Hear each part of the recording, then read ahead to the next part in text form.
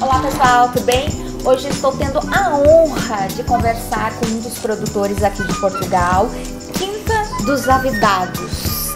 Pedro é um dos responsáveis pela quinta e vai contar hoje para nós muitas informações. Pedro, tudo bem? Bem, obrigado. Sejam bem-vindos a Portugal também. Obrigado Estou por. tão feliz de poder conversar com vocês através da minha parceria com a Wine Bubbles, que no Brasil vai representar a marca. Então, pra gente é uma honra poder conversar e trazer informações, mais informações sobre os vinhos produzidos. Hoje nós temos aqui somente cinco vinhos, mas temos mais vinhos no portfólio da Quinta do Avidados. Isso? Temos tantos e bons vinhos na Quinta dos Avidacos. Neste momento temos eh, mais ou menos 14. E quando eu digo mais ou menos é porque é de uma forma consistente, porque há vinhos que nós fazemos eh, todos os anos e há vinhos que não fazemos todos os anos. Portanto, de certa forma são 14. Aguardam a melhor safra para produzir os melhores vinhos. Claro, Isso? claro, é exatamente isso. Perfeito. Conta primeiro para mim e para os nossos seguidores, por que Quinta dos Avidagos? Avidagos. Então, Quinta dos Avidacos tem uma história engraçada e é bom que, que enfim, os portugueses têm sempre muitas histórias eh, e é bom isso, é um, Portugal, é um país muito, eh, enfim, muito tradicional com muitas histórias eh, e neste caso a Quinta dos Avidacos é uma propriedade que a minha família comprou, Eh, nós tínhamos outras três que, que herdámos ao longo de várias gerações, a Avidacos foi a última e a única que nós comprámos. Na altura já tinha esse nome e há duas histórias engraçadas em relação ao nome. Uma ehm, que é Avidagos, eh, pode vir do latim, tem a ver com videira, portanto com as vinhas, e, e- a outra que tem a ver com uma freguesia que existe em Mirandela e há muitos brasileiros que se relacionam com essa zona porque eh, eh, famílias emigraram de Portugal dessa zona para o Brasil eh, e poderia ser que o proprietário da vinícola na altura da quinta fosse Davidagos, Uh, teria um nome muito esquisito, muito difícil de pronunciar, e as pessoas diziam: Ai, vamos à quinta do.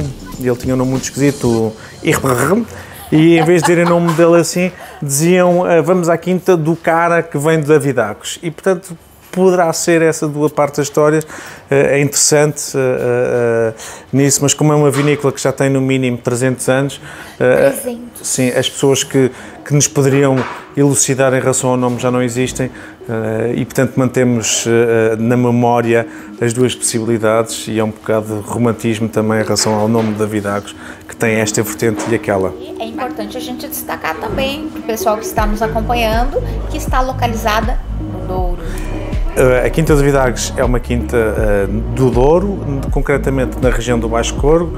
O Baixo Corgo é reconhecida por ser a zona mais fresca de vinhos, depois existe o Cima Corgo e o Douro Superior, eh, mas nós estamos no Baixo Corgo. Eh, eh, Aqui o importante é, é- é- é- é de ressalvar da região do Douro e também da Quinta dos Avidagos é que nós utilizamos uvas, eh, há uvas próprias, portanto nós não compramos uvas a ninguém, B, Ótimo. utilizamos uvas que são Uvas próprias e a vinificação na própria vinícola. tudo na própria vinícola e uvas da região. Nós não temos nada contra uvas de outras regiões do mundo, porém gostamos muito do que é nosso, os portugueses gostam muito do que é Claro. nosso e nós no Douro e nós na Quinta gostamos ainda mais daquilo que é Há nosso uma tradição e há muita qualidade. e há uvas fantásticas por descobrir. E portanto, nesse sentido, nós fazemos os vinhos com, com uvas próprias, com uvas da região. Este, o Reserva Branca, é um, é um lote um blend, como vocês falam bem no Brasil, de duas uvas, hum, que é o Arinto e o Viozinho. Elas são vinificadas em separado. Fazemos o lote ah, ah, na, na adega com a equipa de enologia. Hum, depois o vinho passa por um ligeiro estágio de barrica, portanto fica alguns meses ah, numas barricas de madeira, só para lhe dar É incrível, gente. Eu estava até questionando ele sobre essa questão de ser um vinho branco e a passagem por barrica, mas vocês preservam a questão da qualidade, trazer algumas características, mas nem por isso o vinho precisa estar mostrando aquela barrica, né? Exatamente. Para, para, para nós, o trabalho de barrica é um pouco como na cozinha. Hum, é o sal e a pimenta, que não tem necessariamente que aparecer. De... Quando aparece sal demais e pimenta demais, estragou. Estragou. Portanto, a ideia aqui é de mostrar um bocadinho a barrica de serve e nos vinhos, é um bocado assim como eu entendo na perspectiva mais de gastrónomo, de, de culinária, que, que, a barrica é o sal e a pimenta dos vinhos, portanto, nem de mais nem de menos. Uh, e também tem a ver com a qualidade da uva, portanto, há uvas que aguentam outro tipo de tratamento e mais estágio em barrica, outro tipo de barrica e uvas que não aguentam. Portanto, aqui é uma, uma harmonia perfeita entre, entre, entre a uva e a, e a madeira no qual eles estagiam. E aqui teve qual período, qual tempo de passagem? O, a, a, nossa linha destes do, do, do, do, reserva, temos um branco, temos um tinto, temos um rosé também muito interessante, ligeiramente 4, 5 meses. A ideia não é marcar muito, quanto mais Sim. tempo deixarmos mais marcado fica. Não é o caso. A ideia é só apenas dar um bocadinho de volume de boca e depois ser bastante aromático e frutado, que é o que ele é neste, Exatamente, neste, neste apresentou uma acidez, gente, apaixonante. Eu provei ele e achei fantástico. E fizemos algumas harmonizações com alguns pratos aqui do Delfina, né? Sim que é a gastronomia típica portuguesa, que apresentou alguns pratos fantásticos, vocês vão ver nos vídeos. E a gente teve uma experiência maravilhosa. Exatamente.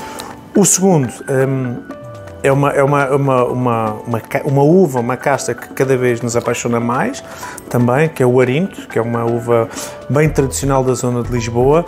É uma uva branca, conhecida, branca uh, uh, uh, boa introdução para o, é uma uva branca, muito conhecida pela, pela acidez. e eu falo isto para, para quem nos vê do lado de lá: a acidez não é uma coisa má nos vinhos. Para nós, no mundo dos vinhos, a acidez é uma coisa muito interessante, faz com que os vinhos tenham frescura, tenham aqui uma, uma, uma na boca que faz com que as pessoas queiram beber mais ou, em contraste, comer um bocadinho mais. Portanto, é uma coisa que tem algum. Uh, uh, uh, que deixa um bocadinho a boca a salivar, portanto, para nós essa, essa componente é muito importante. É uma casta com a qual nós temos vindo a, a trabalhar cada vez mais. É uma casta que também é uma uva de um vinho um, que, que, se pode guardar mais tempo, portanto, estamos a falar de vinhos brancos. Normalmente as pessoas acham que o vinho para guardar seria sempre o vinho tinto, mas com, este, com este tipo de uva muito reconhecida, é uma uva que pode ser consumida agora porque está em condições, mas é um vinho também então, a, a, para 15 tem uma capacidade de envelhecimento de... muitíssimo boa, justamente pela acidez. Acidez, no fundo, é aquilo que vai permitir que os vinhos envelheçam bem e que não deixam de ser monótonos e não deixam de ser assim, em qualquer em todo o vinho, seja no Douro ou seja noutras regiões do mundo, um vinho sem acidez não envelhece. Uh, ou não envelhece bem. E, portanto, é essa componente e essa casta transmite uh, essa capacidade de envelhecimento. E essa arinto teve ou não passagem por barrica? Este arinto também teve. teve. Uh, aqui, uma vez mais, trabalhamos o arinto no sentido de já o trabalhar com um bocadinho de oxidação, já para o envelhecer um bocadinho mais, para o habituar nesse sentido, depois acaba por ser engarrafado, para que depois, ao longo do tempo, vá evoluindo também um bocadinho melhor. Perfeito. Gente, eu provei esse vinho, uma acidez incrível, agradável, super leve. Perfeito na nossa harmonização hoje. Funcionou muito bem. Funcionou, Funcionou muito, muito bem. bem. Funcionou muito e bem. E o próximo? O próximo, o próximo é uma uva bastante desconhecida. Uh, se já é para os portugueses, será para os brasileiros ainda mais, não é? Isso um é bocado assim, novidade, assim, gente. Pay attention, please é algo muito diferente. É, é uma uva um, chamada alvarilhão. Não confundir com alvarinho, não tem mal nenhum, mas é não confundir com alvarinho. Vou escrever aqui para vocês, alvarilhão. Um, é uma uva de um estilo bastante leve, bastante ligeiro, mas sempre com uma boa frescura, uma boa acidez, aromaticamente muito boa também e é uma uva que permite, e por isso é que é graça também desta uva, permite, permitiu-nos a nós, na vinícola, na Quinta dos Avinagres, em fazer neste momento dois, uh, mais um terceiro vinho, que é uma surpresa que nós vamos fazer, mas permite-nos fazer vinhos distintos, uh, por ela ser bastante distinta. Portanto, é uma uva uh, que tem pouca cor na película em si, é uma uva que nós extraímos muito pouco.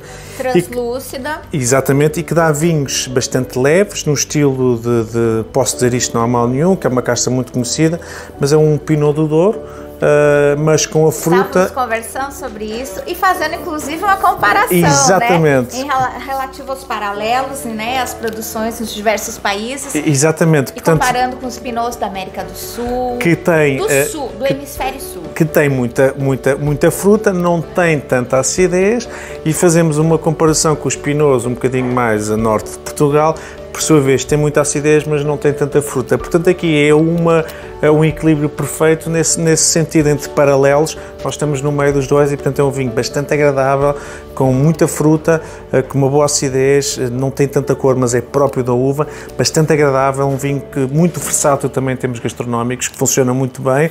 É um vinho muito bom também para um consumo diferente em termos de temperatura. Eh, pode, ser, pode ser consumido mais fresco do que um tinto normal. Acho e 12 graus. Sim, e, e, um, bocadinho, um bocadinho entre os 12, mas mesmo assim, à medida que vai, vai ganhando um bocadinho de calor, ele, ele não perde e vai se transformando no outro tipo de vinho. É muito interessante. E é interessante também em comparação com outro vinho que nós fazemos da mesma uva, que é o extinto, que não é. Uh, uh, que é outra. Que é o outro. outro vinho, outra muito interessante também. Mas eu queria dizer para você que eu adorei o Alvarelhão, adorei essa experiência. Realmente a, a, foi possível e perceptível essa comparação. Sim. Né? E, e, que bom que vocês não ficam chateados da gente chamar de Pinot do Douro, né? Não, de maneira nenhuma. Pinot é uma uva muito boa, eh, só não dá para utilizar para vinhos do Porto e, portanto, para fazer Douro de Odoc. Todos estes vinhos são vinhos de dimensão de origem controlada e, portanto, vinhos assim só podem ser feitos com uvas da região. Sim. E esta é de uma uva. E esta é uma uva e mostra, na realidade, aqui o que interessa é mostrar a versatilidade da região do Douro, porque é uma região lindíssima, são todos convidados para visitar a vinícola Quinta dos Avidagos, eh, mas é uma região muito bonita e que é muito versátil, tanto faz vinhos eh, eh, dos 8 a 80, todos eles muito versáteis. Gente, fantástico, amei provar esse vinho.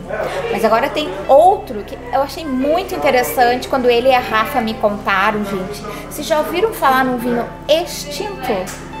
extinto, não é extinto, extinto, tipo ex-esposa, ex-marido, extinto. Conta pra gente sobre esse extinto, Pedro. Ora bem, a extinta esposa, não sei se são boas comparações, porque, porque as pessoas não gostam tanto. É hoje, é hoje. Né? Espero que neste gostem muito. É o extinto, é sim, é diferente aqui.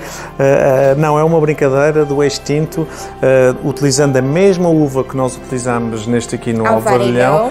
Nós fizemos um vinho branco, portanto, um dito Blanda Noir, justamente porque a própria uva, na sua. Um, questão mais natural, é uma uva com pouca cor e, portanto, nós extraímos eh, ainda menos do que no, neste, neste aqui no tinto, o suficiente, o líquido, para dar origem a um vinho branco um, ehm, e, e, daí chamamos extinto, porque na sua gênese inicial era um tinto, uh, mas, mas ou, ou quereria ser um tinto, acabou por não ser e acabou por ser um, um, um branco. E é o ex-tinto. É, diferente, não é? E, totalmente diferente de todos os vinhos que se tem vindo a provar. Muito versátil também aqui. E esta uva é o que eu digo, é muito versátil. Funciona bem numa zona mais fresca como um vinho branco, em termos de comparação, mas à medida que ganha mais, mais, fica mais quente no copo, uh, fica mais relacionado com o vinho tinto. Portanto, é um muito interessante. Uh, mas o ex-tinto também tem uma coisa a ver, porque como é uma produção muito pequenina, ele facilmente está extinto nesse mercado nesse momento.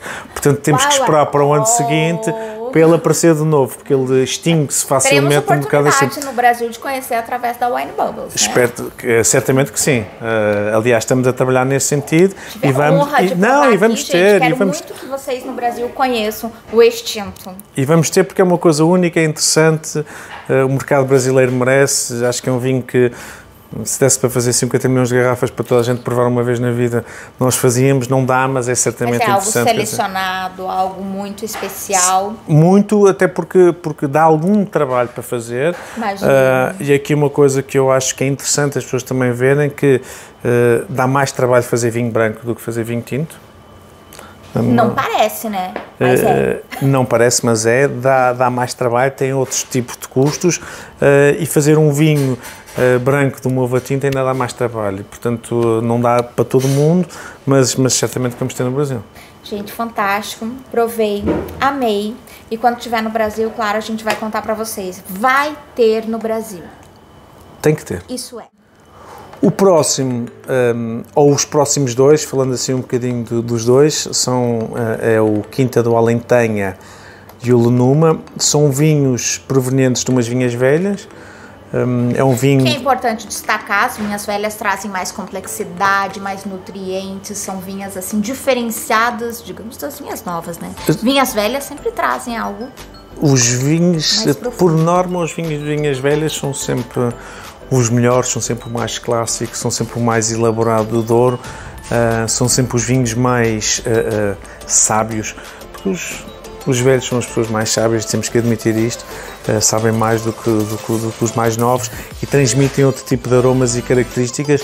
São também umas vinhas que na, na Quinta dos Avidacos são especiais, que foram plantadas pelo meu bisavô, é, portanto, isto em 1941, na altura da, da, da Segunda Guerra Mundial, um, estávamos, enfim, longe do, do, do, do, centro de guerra e ele plantou uh, umas vinhas velhas. O que é que é a definição de vinhas velhas? Posso uh, claro, explicar aqui um bocadinho? Sempre. A definição de vinhas velhas para, para, para, para, para um duriense, para alguém da região do Douro, um, é, um, é, um, é um blend de diversos tipos de uvas plantadas na mesma na mesma vinha ou no mesmo terreno, um, que por sua vez dá origem então um, a este tipo de vinhos. A ideia na altura de vinhas velhas era um, diversificar para, em termos de plantação, ter vários tipos de uvas plantadas para minimizar o risco do ano não correr bem. Okay? Uh, portanto, se uma uva se dá bem com uma temperatura muito quente e a outra não dá tanto, plantando a outra que não dá tanto, se fosse um ano muito quente, o rendimento acabava por, por, por se perder.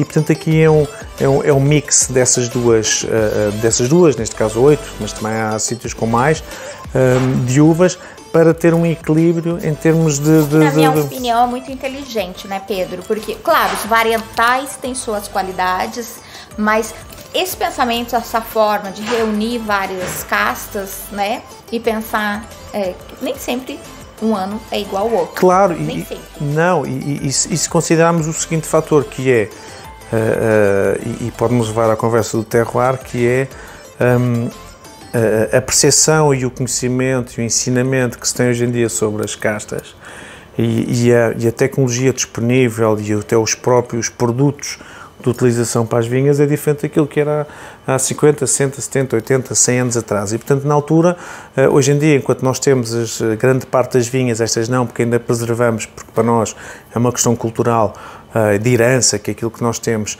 ainda as preservamos, nas outras hoje em dia plantamos em separado, mas a verdade é que hoje em dia também temos um controle muito mais rápido, mais eficaz, temos produtos mais acessíveis que não teríamos na altura para combater qualquer tipo de doença. E na altura eles não tinham nada desses, desses meios, um, e, daí também muito inteligentemente, porque um agricultor Uh, uh, é, na sua essência, um, um, um, uma pessoa pobre, na questão financeira, mas muito rica na questão uh, mental e na questão de conhecimento. Portanto, uh, uh, é tudo um funcionamento juntando tudo que acaba depois por, por dar origem a estes, a estes, a estes dois vinhos que são exemplares típicos da região do Douro, um estilo muito clássico, de umas vinhas velhas e que querem representar eles os dois mais um terceiro vinho que não está aqui para a prova, eram 14, não dava para provar muitos, mas ao longo do tempo. Oxe, hoje, mas a gente foi bem. Vamos provar, ao longo do tempo vamos provar. Com cinco nós somos bem. Sim, que representam um bocadinho aquilo que é a, a, a região do Douro, uh, com as diversas exposições solares, com as diversas altitudes. Portanto, brincar aqui um bocadinho, porque o que é certo é que uh, os dois são da mesma vinha, plantados em 1941, mas são dois vinhos distintos e portanto no Douro não há nenhum vinho igual ao outro e na Isso é própria é vinícola também não há nenhum vinho igual ao outro. Mas ainda queria destacar que esse daqui nós temos oito castas, é isso? Em ambos temos oito castas. Quer oito, no Alentejo, quer no, no, no Lenuma. É, é, é... No, no, também temos oito castas? No Lenuma, o Lenuma representa a mesma, a, mesma, a mesma zona da vinha, só que com outra exposição e por isso o vinho ser aromaticamente uh, diferente, uh, características diferentes, porque tem outro tipo de exposição. E realmente, quando eu provei a, a diferença entre eles, é muito marcante, é muito presente, entendeu? Por mais que seja na mesma é, região, na mesma, né?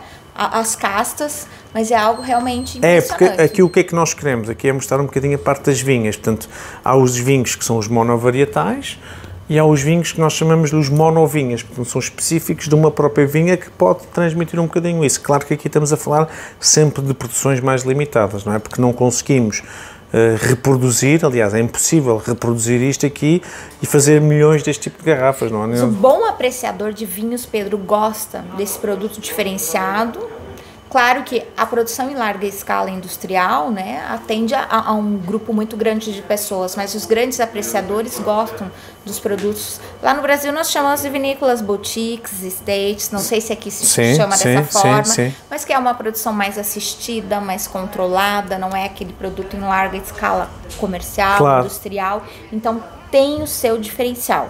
Não há como comparar. Não, de maneira nenhuma. E, e depois tem uma característica que é importante e é muito apetecível nestes vinhos, que é um, os vinhos quando são monótonos não têm graça nenhuma. Um, e é uma coisa que não acontece neste tipo de vinhos e, e em, em, muito poucos vinhos do Douro, que não, não deviam acontecer, que é quando aqui temos vários tipos de uvas, e eu vou usar uma das minhas comparações que eu gosto muito, que é uh, um, tenta imaginar por uh, oito crianças para dormir ao mesmo tempo. É difícil. Então tenta imaginar apanhar oito uvas mais ou menos ao mesmo tempo para dar o vinho perfeito. Okay? E já estão. Agora tenta imaginar pôr oito crianças a, eh, a conviver com elas e durante elas durante vários anos. Isto é a mesma coisa que nós temos aqui com este vinho na garrafa. As uvas têm que juntar-se umas às outras para dar a criação do vinho perfeito. E, e, e, portanto, quando se abre a garrafa, os aromas iniciais são uns, os aromas eh, do meio são outros e os aromas finais são outros. Porquê?